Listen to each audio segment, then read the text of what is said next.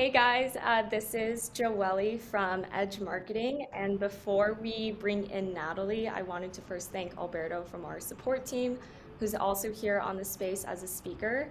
Um, he actually reached out to Natalie requesting if she could be a guest at the Edge HQ um, meetups that we have here in San Diego. So thank you, Alberto, for landing this. Um, we're so excited to have Natalie here. You're welcome. so, uh, my name is Alberto. I am in support and I help with other technical aspects here at Edge. Ultimately, just uh, concerned with user experience. Um, reached out to Natalie, and for anybody who's been living under a rock, uh, she's an investigative journalist, a uh, podcast host. Uh, overall, lately has made a name for herself as an educator in the Bitcoin space. Uh, that's just a small summary, of course. She does much more than that, and she's not limited to just that. But uh, she does interview a lot of uh, prominent voices in both the Bitcoin space and economics in general. So uh, we'll hope to get into some uh, econ related questions and uh, hopefully something a little more different than the typical Bitcoin type questions. Joel? Yeah, for sure. We wanted to make this space different today, but of course, like for people who don't know Natalie, we want to make sure that we cover the bases. So, uh, Natalie, from what I've seen in my research, you grew up in Illinois. Uh, you studied at Pepperdine here in California, and then you did your master's at Northwestern. Um, and after that, I saw that you focused your career basically becoming a reporter. And then in 2021, you went from uh, working for Apple, I believe you had a career podcast with them and then switched over to a Bitcoin podcast, or I think you might be doing both of those at the same time right now. So, would love to hear more of how you made the transition into Bitcoin. Like, who was um, your biggest influence, or like what was that tipping point that made you want to get into crypto in general? Yeah, so first of all, I just want to say thank you so much for having me. I, I really appreciate it, and I appreciate the support that the Bitcoin community has offered me. Um, I'm just, I'm super passionate about helping educate people and spreading the word through my sort of background and skill set, which is media and simplifying the message uh, through my reporting experience that you sort of touched on. So, yeah, just to give you sort of a brief summary and touch on some of the things you mentioned about my background, I am originally actually from Poland. I'm a first generation immigrant and I studied journalism and then I worked for more than 10 years at different broadcast networks. Um, so I was on a local level as well as on a national level, reporting on everything from breaking news to you know stories about um, all the issues that are really facing society right now public corruption, civil unrest, homelessness. Um, you know, I really got to witness all of these problems sort of ballooning in the US over the last 10 years. And I, it made me really sad and, and, to be honest with you, really jaded as a reporter, especially toward politics, because I felt like no matter what election I was reporting on or what candidate or elected official I would be interviewing, I felt like the problems just got bigger, even though we threw more money at the problems and every single politician would blame the next. So I kept kind of thinking in the back of my head, gosh, like what is wrong with the system? Why is America, which is supposed to be the greatest country in the world where my family, you know, fled communism and wanted to come here to pursue the American dream, why is life getting harder as opposed to easier every year? Why is our money worth less as opposed to more every year? So, I um, while I was a uh, I was a breaking news correspondent for ABC News nationally. I would travel the country for news based in Los Angeles, though. And I started a podcast called Career Stories because I always loved hearing just backstories, origin stories of how people achieve success, what obstacles did they overcome, because I was always kind of grasping for like, just hope and positivity. You know, I'm covering tragedies and natural disasters on a daily basis. Um, and from that, you know, during that time, about 2017, I discovered Bitcoin and started to learn more about it over the last few years and i finally i felt like oh my gosh it was like an epiphany. Like this is what's causing all the problems i'm reporting on.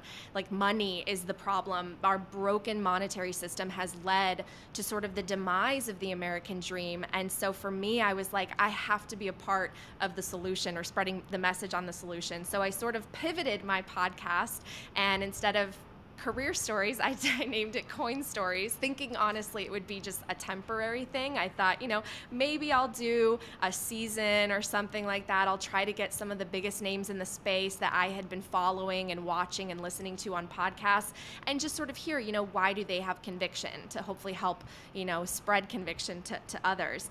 And it really took off. I mean, there's obviously an audience and a hunger for this information and for knowledge and education. So I was fortunate enough to be able to, um, you know, I took a risk, um, but I felt like it would pay off. I, I left my job last year at the end of the year, about six months after starting the podcast.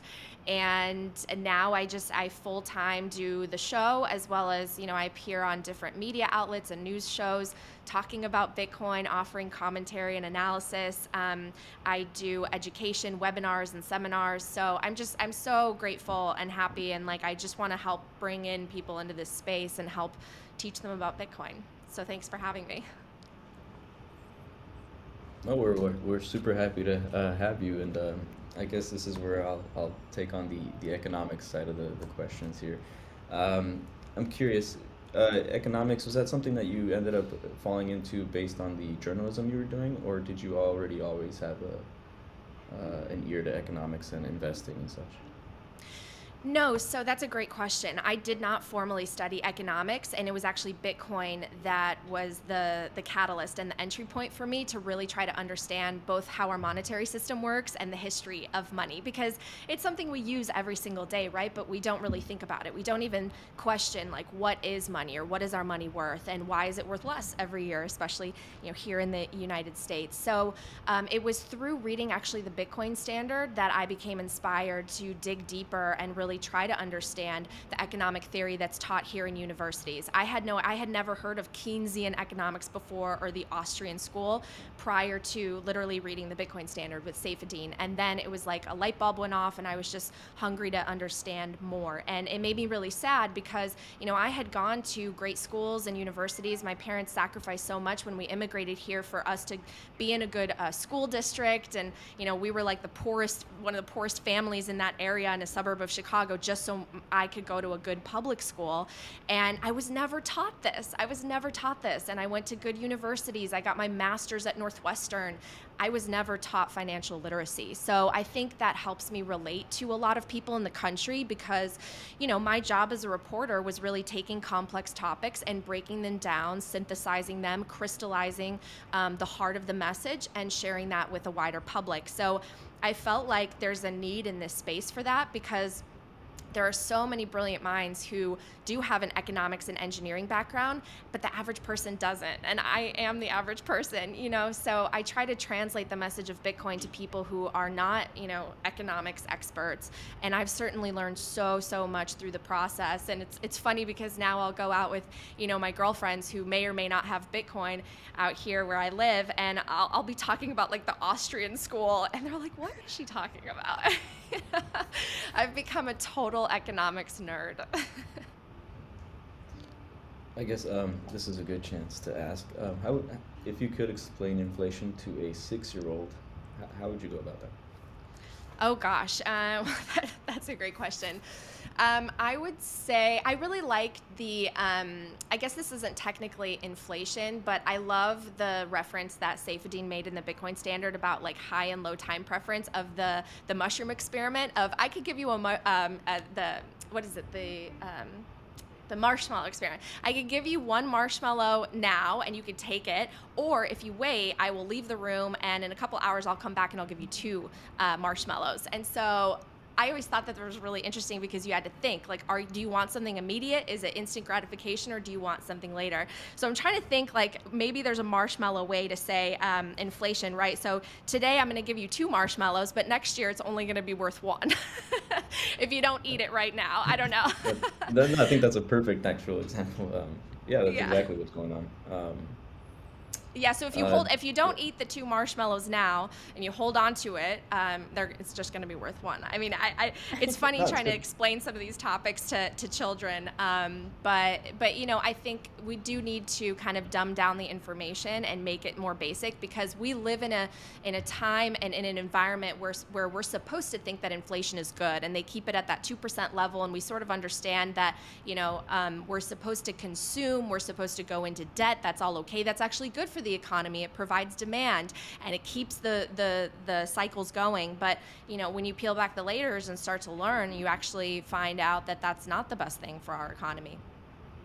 Was um was Bitcoin your first formal investment or prior at least career like most people did you have 401k based investments or yeah, so I, um, I, I really wish I could, you know, knock myself over the head and talk to my younger self because I come from an immigrant family who, like so many Americans here, I was just taught to save, and I didn't, I didn't learn the stock market. I didn't understand how to invest. Um, I, you know, I pursued journalism, so that's definitely not one of the classes that I had going to school, and I did not really invest until I started learning about Bitcoin. I had literally money as a melting ice cube in a bank account uh, or a credit union, you know, money market, all that standard, and in a 401k. And now it just, I think back because like I was always a really good saver, guys. I think back on how much I could have like actually invested into Bitcoin a long time ago because I was always so you know, when you're an immigrant, you're like paranoid that the next day the rug could be pulled out from under you and everything exactly. could be gone in an instant. And so you just like you you stash stuff away. Like I come from a family where you know you you stuff things in the mattress. um, yeah. so I, think I was all three always of us are first gen, so oh, we, awesome. We share the sentiment. Yeah, so I, I definitely was someone who was a good saver, um, but in the wrong way. I didn't know how to invest. Yeah. So I guess it's safe to assume that any of those uh, traditional investments you did have, you've already moved on to uh, Bitcoin. I assume. Yes. yeah. So I. yeah, no, I'll, I'll totally share. You know, I started learning, and and I think I've mentioned this on other shows, and certainly I agree with others who who who share this sentiment as well. When you learn about Bitcoin, you you get like you you know you touch it once, you're exposed to it once, and but you don't you don't know everything you need to know, and you're not you don't have the conviction that you have at the more that you're exposed to it, the more you learn about it. So you kind of start slowly and you allocate a little bit. And I definitely at that time it was like a little bit of Bitcoin, a little bit of other things, a little bit of stocks, a little bit of op- like I traded options when I learned about options, uh, which was a very bad mistake, guys. I, I got greedy and I should have sold my SPY calls when I when I when they went up like ninety percent. Um, Those are the lessons. But yeah I funneled down, I funneled down, and I came down to, to, to Bitcoin. And it's funny, I think about all the the money I could have had if I hadn't risked and just you know got. I guess it's you know being greedy or wanting that higher return or um, you know trying to basically play the casino. I should have just put it into Bitcoin and waited. we all have to. If you don't go through the cycles, that's not how you're going to yeah. learn, right? So. Yeah, yeah unrealized gains there, so it's okay. Um, I'll let Joelle do some something here. Okay. I did have one question because this came out today, so I wanted, and every I'm not sure if people have seen, but I actually saw this on Blockworks and got a little excerpt from the executive order from President mm-hmm. Biden. So his order calls for a coordinated and comprehensive approach to digital asset policy. He also in his executive order mentions that the US must maintain a technological leadership in this rapidly growing space.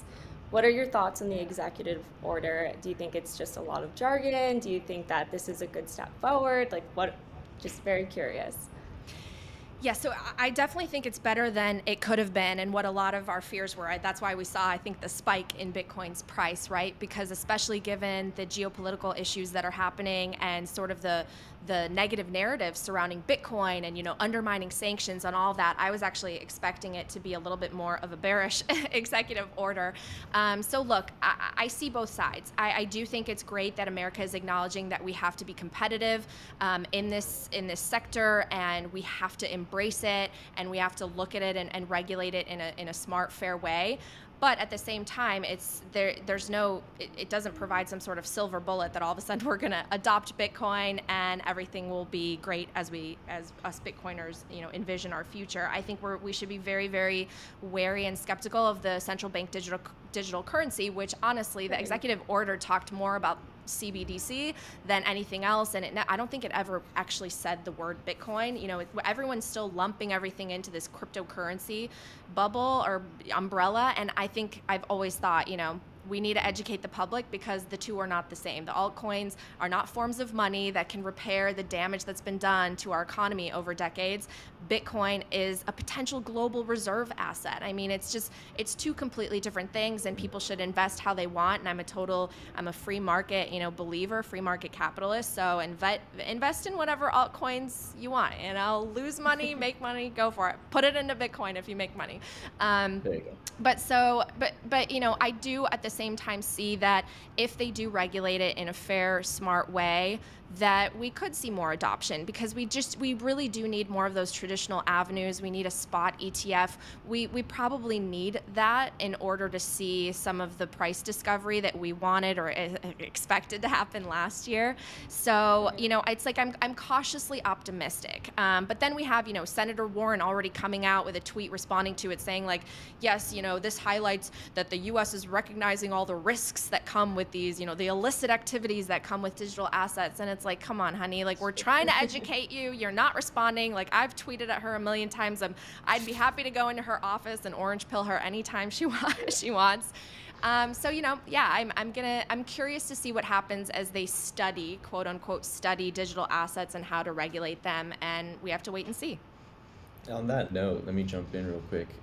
That that studying could, should, and what happens if the U.S. government tries to uh, fork or imitate a deflationary type cryptocurrency that's programmatically fixed uh, in supply and uh, predictable mints, kind of like Bitcoin or maybe even a Monero, where it doesn't ever hit uh, no more minting, but it gets pretty close to zero. Um, this, do, what happens, or should they, could they try and implement some system like that? I, I don't see any way that our government or any politician would create a finite form of money that that somewhere down the road someone can inflate. I'm sorry, maybe I'm still jaded from my reporting career, but at some point someone's going to want to finance something. Someone's going to want to take that prerogative to uh, to make more. So I just I, I just don't see it. Okay. You once tweeted, Natalie, that we have too many old people in the office and not enough Bitcoiners. And you're not wrong there. You're yes. not wrong. Well, so then we, who would. Oh, no, go ahead. Well, I was just going to say, I mean, the amount of sept- septuagenarians in Congress, it, it really should make people concerned because, especially when it comes to embracing a new technology, I'm sorry, but younger people are going to get it first. And so we really do. We really need some fresh energy in there. And I think what's frustrating is it would be one thing if it, you know, age is just a number and you could actually, you could be in your 70s and be like, yeah, I'm into Bitcoin. I love it. I want to embrace it. I feel young. I act young. Hey, I'm, I'm all for those kinds of politicians. But unfortunately, that's not what we see. We see people who are stuck in their ways. They're very rigid in the establishment. Um, they are driven more by, by money and getting reelected. And look, we have people in office 20, 30, 40 years. The problems are getting worse. And it's like, why don't you just step down? Maybe, maybe retire in Florida and let someone else take over and try something different because it's not working. And meanwhile, some of them are like, you know, trading stock options and making a bunch of money. It's ridiculous. And it's led to, I think, a breakdown of trust in the, the political system do you would you or I should rephrase this who in the Bitcoin community do you think could run for office that's already quite vocal or personality in the space? Like could or people who I think might run for office? Um maybe might. Okay so uh, CJ Wilson CJ Wilson, he's really active with the Bitcoin Coalition, and he, like, I, I'm just so impressed by his work because he's not only very articulate and he's a great public speaker on Bitcoin and great advocate, but he's really done his homework, and he now is going out to policymakers and to politicians' offices, and he is spreading the word of Bitcoin and really going one step further to cater the message depending on what the party is and sort of what the what the needs of the constituents of a certain politician are, which I find to be just incredible work and and and much needed work. And I can tell he's so passionate about politics. So I think if there was any Bitcoiner that I could see actually putting his hat in the ring, it would be CJ, um, which I, I, I, I, would totally advocate for. I think he's fantastic. Um, I think we're lucky to have, you know, Senator Lummis, who I got to hear speak at the Bitcoin Ski Summit in Wyoming. She was fantastic. I wish we could, you know, replicate her and replicate Ron Paul and, and some of these folks that seem so much more common sense driven and, and more driven by like a libertarian point of view that to me is actually more centrist because we're, we're getting into so many extremes in this country. Um, and then who else? I mean, you know, Dennis Porter, I could maybe see running because he's always talking about politics. Um, but I don't know. Yeah, we really do need to support, you know, like the bigger names and let them know that we do think this because we need those people to step forward. Um, I think Alberto had some questions um, on, or let you speak. more, more economics. Um, yeah. We'll get past this week, don't worry. Uh, is this whole oil, quote unquote, crisis FUD? The oil crisis? No. Yeah. I, do you think that's more FUD or an actual issue? No, I, I actually think uh, we are at sort of a turning point where I think it was maybe Marty Bent or someone tweeted that Putin essentially put a gun to to the, the US dollar as reserve currency with, with these actions. And I want to be cautious because I am not a geopolitical expert, and the history of this conflict and how this crisis developed is so so nuanced so i try to not you know get into the speculation and some of the narratives that are that are out there because at the end of the day like war is so tragic and terrible and there are innocent people dying and suffering. And I am actually really inspired by my home country, Poland, which has really stepped up to help so many of these refugees. And, you know, I just, I, I hope that these, these families are able to, um, you know, to, to create a new life for themselves. And it inspires me that for those who know about Bitcoin, potentially they were able to take their life savings with them and, and cross the border and escape with, with some of their, you know, mo- monetary value. Um, but the whole thing, you know, it's just, I think it's putting a really big spotlight on the fact that we have corrupted our system through uh, through our money printing and our debt spiral. The U.S. dollar is global reserve currency. I think that the the the days are now numbered potentially, unless maybe, I don't know, maybe the Bitcoin standard for, for the US could help with that. But clearly, um, other countries want to undermine it, and they've been working to prepare themselves to be able to do so. They've been putting other assets in their reserves, they've been moving, shifting over back to gold. Um, and it really you know it really does make you question like what is the dollar worth now? And what is our strength as a sort of superpower? Um, because now you look at our dollar and to me when i think about the us dollar i think wow it's backed by a whole lot of debt and the threat of violence because we've yeah. we've beefed up this very powerful military. And like I don't want I don't want that. I don't want a war. I think most of the people don't want a war. I think the people in Russia don't want war. They just want to be able to survive. What do we all want? We want to be able to take care of our, our families and save for the future. So, you know, it's just, it, it makes me really sad. I, I don't know how this is going to play out. And I don't see it. I just, I think that Putin has such a mission that I don't see it de escalating.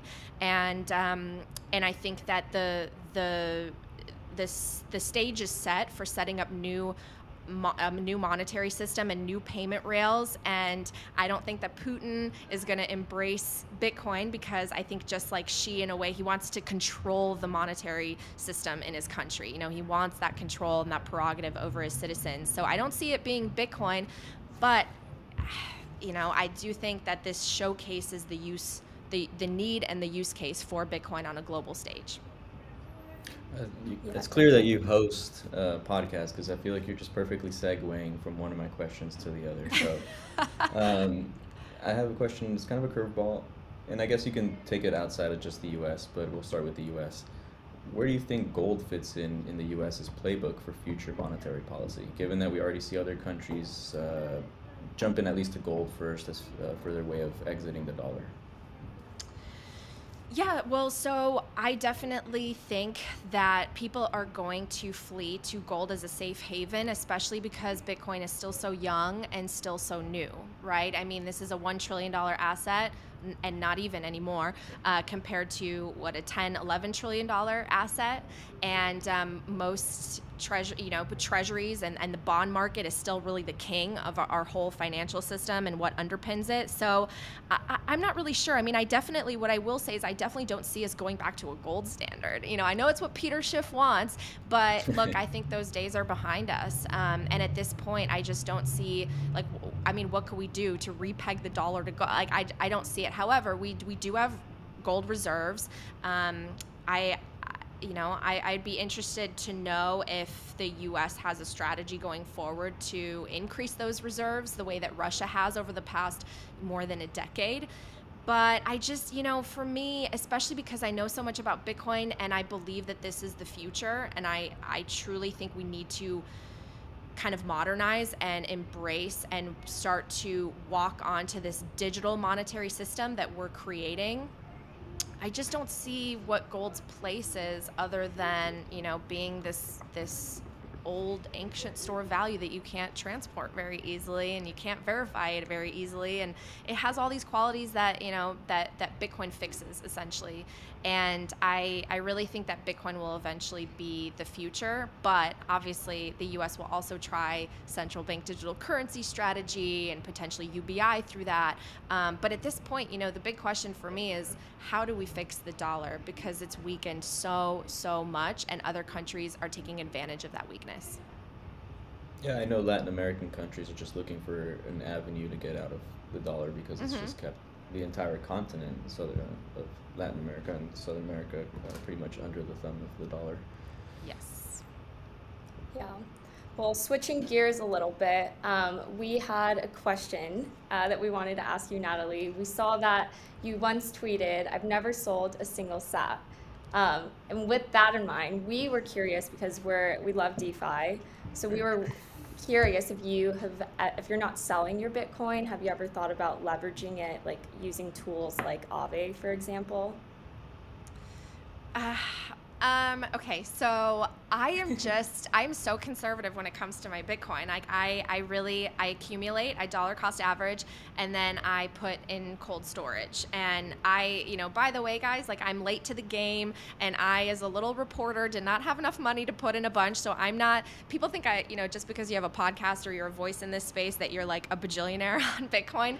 That's not the case, people. So um, I'm just very, very wary of, of my Bitcoin, and I do have concerns about how how some of these websites, the exchanges will be regulated. I'm one of the, the believers that, you know, especially in the last couple of weeks, it's put a, a big spotlight on how uh, the government and centralized authorities could try to seize or freeze your accounts, and that's that's a very big danger. And so I'm a big believer in you know taking custody and learning how to be um, self-sovereign with your Bitcoin. So I I, I know, I'm sure I'm you know missing out on some yield, but I, I just I safely store my my Bitcoin accumulation, and I have not ventured into that space as much as I know a lot of other people have.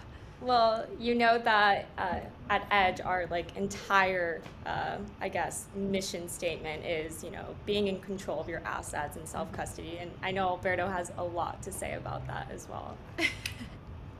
uh, sure. Um, I was listening. so, uh, I guess the idea being, or you know, with with accumulation, uh, what the end game would be.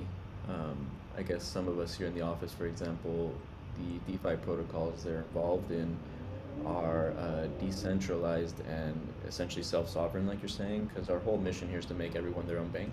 Um, and in your own bank, you have all your safety deposit boxes, which is every individual wallet you create, and only you have the key. Uh, that being said, though, at some point, especially some of us uh, who are completely out of the dollar, uh, have to find ways to participate in the current system still. So your options are either to sell your Bitcoin or uh, get a loan on it, which is a non-taxable event, not financial advice, and then you can use that um, that uh, stable coin cashed out to a dollar uh, and, and continue, you know, paying bills or whatever. And you didn't have to get rid of that asset. Kind of like I think traditionally in wealth building, it's called uh, borrow, buy, die, or something like that. You you buy you buy assets by leveraging current assets. Uh, you sure you've accumulated debt, but the asset uh, gains outperform the debt and then they die, and it gets put in a trust that gets handed off to the next generation of family members, and the cycle just continues. Yeah, and, and, one fun fact about Edge is everyone at our company has been getting paid in Bitcoin since Edge was Airbitz, like prior to Airbitz turning into Edge. So people at our company are always trying to find like creative ways because they don't want to sell their Bitcoin. You know, it's mm-hmm. that same um, idea. So yeah, just we were curious to see what you had to say. But I do totally come from the school of fear. Like I don't. I don't enjoy the word leveraged or the, even the idea of being over leveraged, and I right. feel that could that could pollute the exact system we're trying to get away from by mm-hmm. just bringing that right back in. But I get that. How else are you? What's then? What's the end game? I guess you know. Well, I, I will say that I definitely am a candidate for learning more about how to borrow against your Bitcoin because I listened to this fascinating interview uh, probably you know two or three months ago between Saifedean and Michael Saylor, and they were discussing that a little bit and how you know you could per- essentially you know maybe borrow against your Bitcoin to buy a house. And my my dream is to be able to afford a house, to be able to be a millennial with a house uh, and some real estate someday hey, that I call my yes. own. so um, that's certainly something I think about for sure. Okay. Well, outside of um, you know coin stories, are is there any projects that you are thinking to build in the future? Uh, that's a great question. You know, for me right now, the priority is just getting the word out to as many people as possible about Bitcoin and helping them understand it and sort of hold their hand down the rabbit hole. Because one thing that I hope um, you know people acknowledge and and um, and maybe can empathize with is it's not really easy because there's so much information out there. Even though Bitcoin is kind of niche and there's a it's a smaller community certainly than than others and other industries, it's still i mean if you google bitcoin or go to go on youtube and try to search bitcoin it's like where do you start right? It's very right. intimidating. Um, you know like Saifedean's book i actually had to read it probably three times to really fully understand it because some of the concepts were just so new to me and and aspects of it are so so technical and require a lot of historical context. So you know i feel for people because for me i I was already, you know, being a journalist, this is sort of just what I do. I research things and I, I have sort of that time and that hunger and thirst. But for the average person who has a nine to five job or, you know, works even longer than that and is trying to and has kids and has to has all these responsibilities how do you condense that information? And and i really think about that every time i have a news hit and i go on one of these programs and i have maybe 90 seconds or two minutes to distill the message of bitcoin like i really take that to heart because it's like maybe someone's distracted or working in their kitchen but like they hear me and i say something that resonates with sort of like that that that universal need for us to be able to make our lives better, improve ourselves, move up socially, move up in terms of our economic freedom and and, and ability to, to hold value. So um, so I just, that's my mission. And whatever I can do, whatever companies I can partner with in order to make that happen, I'm trying to do. Um, I'll have some more video content coming out that I'll announce soon. So just a lot of exciting things. I'm working way too much. I need a break. Uh, but I'm also, I've never felt more fulfilled and felt like I'm really living out my calling. That's beautiful. That's probably the most important part, and probably where you uh, draw most of your energy from, I assume. yes. Um, so uh, I guess on a user level type of question, you said you use a hardware or cold storage. Um, I'm sure that means that at some point you still need to use a digital version of something. What is your favorite functionality features out of uh, a wallet? Favorite functionality i mean i just i'm a, a, big believer in making sure your bitcoin is secure. So um, the wallets the two wallet and i actually got attacked for this on twitter but um, I've, i actually have used two of the most popular wallets and i put out a question like which one do you guys prefer? And i got so many nasty comments.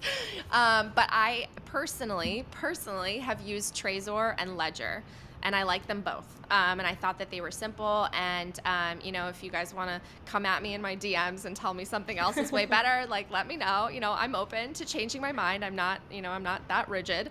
Uh, but so those those are my favorite as far as cold storage.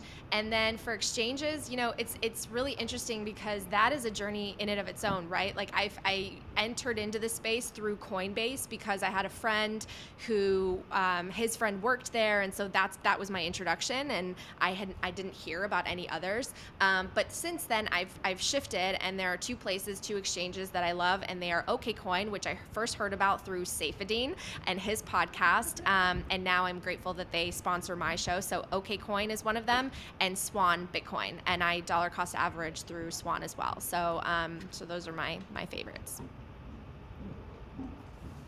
Well, you know, well, you're talking to Edge, so we want you to use Edge. we'll, we'll, bring you onto the Edge side when you come to the to the event here in person. You know, it's so interesting, like how many there are, and like I definitely, there I don't, I definitely so don't know, I definitely don't know all of them. So for sure, you know, I, I'd love to learn. Um, okay, I'll take the next question. Sorry, guys. We have a list of a bunch of questions we wanted to ask Natalie today. Um, so we're going to switch gears now, talking about uh, the meetup coming up. So thank you again. Like we mentioned earlier, we're talking today because Natalie's coming to the Edge headquarters um, at the end of the month on March 22nd. We're super stoked to have you here, but we were wondering, do you attend meetups usually? Is this a little different? I know you go to conferences, so we were just curious. Yes, um, I try to go to as many meetups as I can. There's a really strong community of Bitcoiners in Los Angeles, where I live right now. And so um, there's Crypto Connect, which was created by Haley Lennon, who's amazing, and she's a friend in the space. So I, I went to some of those events. There's um, there's like a meetup every Sunday. I've, I, I couldn't go, I can't go every Sunday, but there's a great Bitcoin meetup on Sundays here in LA, so I go to that. Um, I've planned one before around a, a, birthday of a Bitcoiner. We're actually um, Swan is actually going to start having some events in LA, so stay tuned because I'll definitely be posting about that. But yeah, I love going to events. I'm honored to be a guest at yours. Um, the San Diego community is one that I, I would like to get to know more because my, my boyfriend is there, so I'm excited to, to get to get the chance to meet more Bitcoiners that we could potentially both hang out with. So yeah, uh, you'll yeah, have to bring great. him to. You'll have to bring him as well. Oh, um, oh, absolutely, yeah we have I think about like two meetups per month. So he he'll have like a new community and friends to hang out with, and it, it's a very fun fun group. Prior to working at Edge, I worked in fashion. I never really got into like the meetup scene, and now working in crypto, it's just been amazing to see like this community grow in San Diego. So very thankful for that. Yeah, I'm super become, excited. We've become the hub I guess, for all the, the meetups and stuff. People book their events here, even though it's. yeah, and our space is free to use, so we just invite all like crypto meetups to meet here. It's awesome. been really fun for sure. You know, there's so um, much energy and like the the community aspect of it. I love that, uh, and I I cannot wait for the Bitcoin conference. And if you haven't gotten your ticket yet, make sure to get it. Um, coin stories code for 10% off uh, but i just can't i can't wait because you guys like I, I, I will tell you a funny story and this is just this is what reinforces my belief that the community of bitcoin is so awesome and so strong and powerful I I literally did coin stories as like a passion project. I thought nothing would happen with it. I just wanted to kind of pivot my current pod or my previous podcast, career stories, and focus on Bitcoin because I had grown so passionate about it. And I literally like started to collect these interviews and went to the Bitcoin conference with these like little business cards that had a like a QR code link to my podcast. I knew nobody. I went with my best girlfriend. We could not get into any party because everyone was like, "You're not on the list. Who are you? We don't know who you are." and I would just hand out my business card and be like, hey, this is a Bitcoin show, like listen to it, whatever. I walked up to Michael Saylor but backstage with my business card being like, hi, I'd really like to talk to you for my show. and by the way, it worked. Um, I paid like $500 to go to Saifedean's carnivore dinner to beg him to be on my show. Also worked. Oh. Um, and so like I, you know, I kind of, you know, crawled onto the stage as, as a baby Bitcoiner um, on the scene. I mean, with with with this podcast, and here I am a, a year later, and you guys want me to come visit. Like, I, I just think it's crazy what can happen in a year if you focus on something you truly love and believe in and have passion for. And I'm just so grateful because that wouldn't have happened without the support of the community. So, I mean, Bitcoiners are just amazing. Yeah, that I I mean, I think we could both attest to that, Alberto. We joined about the same time, like at Edge. So it's been a wild ride for us as well. Um, but we're actually going to Bitcoin 2022, so you'll have to uh, come by our booth. I'm taking sure. 10 employees this year, so there's going to be a big crew of us there. So we're really stoked.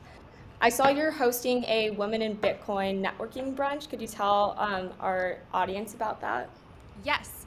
Um, super grateful and a big shout out to Aleks Svetski, who's one of my favorite Bitcoin voices. Um, he helped me plan it, and basically, it's just an opportunity to get together and network with one another. And we're gonna feature some leading voices in the space that I admire and and, and am grateful to be able to share um, the the invitation with. It's Stacy um, of Max and Stacy, of course, and uh, and Lyn Alden and Stacy. Um, I'm gonna mispronounce her last name, but she's with uh, so we basically had like a couple of uh, ideas thrown around where we just wanted to encourage more more females to get together and and be able to meet one another as sort of a kickoff event to the conference because one thing that I will say is last year I was there with my girlfriend and it was difficult to find other women and, and we didn't know anybody in general. Um, I mean, I bre- I sort of I sort of knew the people I had interviewed for my podcast, but not really. I had never met them in person.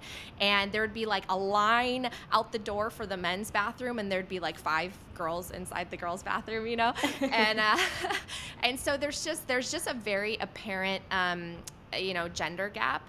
And for me i'm look, I believe Bitcoin is for everyone and I love the inclusivity and like it doesn't matter what your gender, your race, your, you know, your age, whatever. Every Bitcoin is for everyone and I totally acknowledge and get that. But at the same time, I've always been a girl's girl. Like I love being with other women. I love supporting other women. I think it's really important.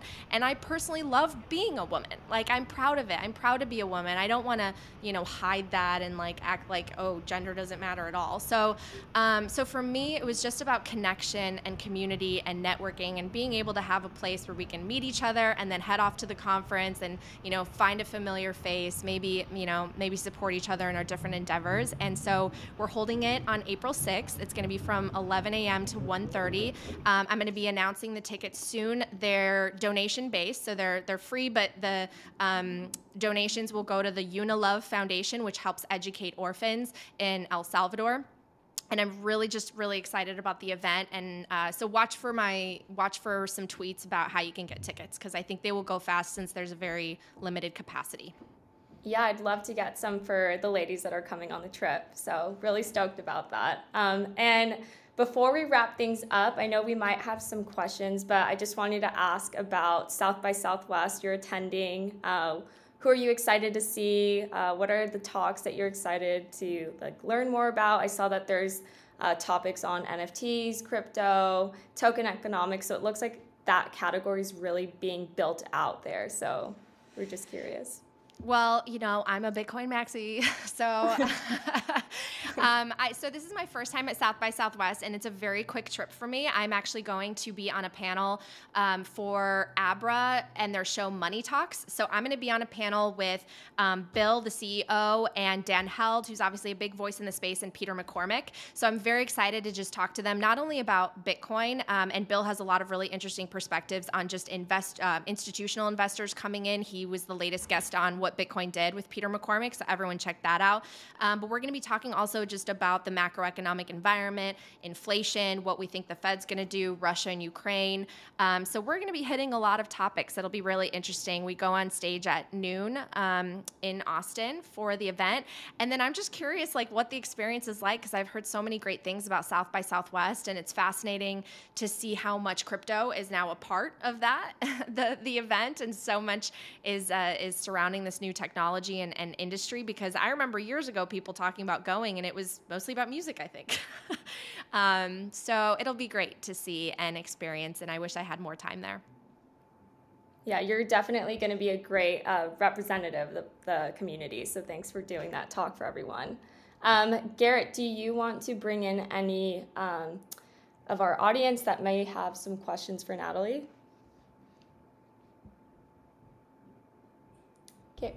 Yeah, bringing up the first speaker. Hey there, can you hear me? Yes. Oh, wonderful. Hi, Natalie. Uh, super excited to kind of hear uh, this Twitter space. And I'm uh, Ginny. I'm a part of the marketing team at Edge. Uh, I do a lot of the design work. And um, my question here is can you tell us a little bit more about the local scene in El Salvador? It seems that you uh, visited recently, and I was just curious to know you know, with uh, President Bukele um, uh, starting or making Bitcoin legal tender, first of all, and also um, starting the initiatives with uh, Bitcoin City and uh, Chivo Pets, the vet clinic, and such. I would just I just wanted to know how the developments are going when you visited, and just kind of wanted to learn more about that. Yeah, that's a great question, and it's so nice to meet you. Um, my trip to El Salvador was amazing and really, really inspiring. Um, I visited Bitcoin Beach, that's where I stayed, and had the opportunity to see how immersed Bitcoin already is in that economy. And what was actually really funny is I was down there for interviews and essentially to do some documentary style content. And I thought that everyone would be very excited to talk about, you know, Bitcoin and how different or new it is. And honestly, they it's been so ingrained in that local community for so long now that they were honestly bored talking about it. It's just part of their lives now, which I think is actually really exciting. They, they, they just, they use it, they're comfortable with it, they understand it. Um, that being said, the one thing I learned that was interesting was they still see it as, um, they see it as more of a currency as opposed to a store of value because they traditionally are not used to kind of a savings account the way that we are here in the United States. They don't see it really as a store of value. They live more hand to mouth and they haven't been able to really plan for their future because of the economic situation in their country. You know, before the El Salvador dream was like my family, the American dream, to come to the U.S. to be able to send money back.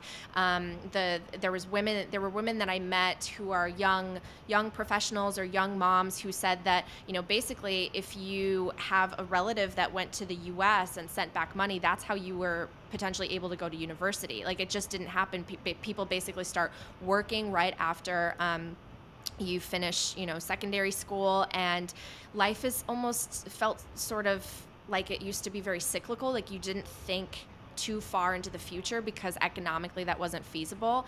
And now with bitcoin being introduced they are thinking about the future a lot more. They're they're they're hearing and inspired by the fact that the president and major voices within you know the bitcoin space are saying hey El Salvador could potentially be the new Singapore, and there's going to be so much investment and capital and innovation and technology. Like everything's coming here, and and um, and there's a potential to create new businesses and become entrepreneurs. And so I went to a place called Hope House, where again I met these women that were in their late teens to early 30s, and for the first time they're like trying to figure out ways to start businesses and trying to figure out what the needs of the community are in, or, or in order to grow it and in order to flourish and help their families. And they're asking you know how do they present themselves on camera? Because people are now starting to ask them for interviews more or they're getting opportunities to showcase their businesses online. And like really at the at the at the foundation of all of that is just this feeling that they all now have hope they like think about the future in a way that they never did before. Um, and that was really inspiring to me that they now dream not of coming necessarily to the us but actually of making an, an amazing life in el salvador. I thought that was beautiful. Um, now is this transformation happening overnight? Certainly not. Um, the women still kind of don't understand the, the, the, the real you know programming of bitcoin how it works why it's scarce how it was developed like that that education still needs to spread and there are many many efforts ongoing there to spread that knowledge um, and I will say in San Salvador, the capital, uh, when I went, fewer merchants are accepting Bitcoin. Fewer people know about it than in a place like Bitcoin Beach, where the, the mission is sort of accomplished, that Bitcoin's uh, kind of integrated in the economy. So there's still work to be done, but I was inspired. And literally everyone I asked on my trip, from drivers to uh, pupusa makers to, you know, grocery store workers, everybody that I asked, hey, what do you think of Bukele? Not one person said something bad. They're really excited about all of this. So I know that there are, there are narratives out there saying, oh, he's a dictator, he's this, he's that. Well, I, I certainly did not meet anyone that said that to me. Wow. That's amazing. Thank you for sharing, and um, it's good to see that what how he's, I guess, how he's portrayed online on Twitter, and how sometimes he um, trolls people, and uh, just having the human aspect of it, it, it shows. And um, yeah, uh, awesome. Yeah. Thank you for so much for sharing. Yeah, thank you for the question. Well, we're going to leave it at that. So thank you so much, Natalie, for joining us today. Thank you guys so yeah, much. I'm. I'm just super inspired whenever I, you know, connect with more Bitcoiners. Um, and I'm just, again, I'm, I'm super grateful. Can't wait to visit um, for your meetup. And uh, yeah, looking forward to it. Great. Thank you guys so much. Thanks, guys. Adios.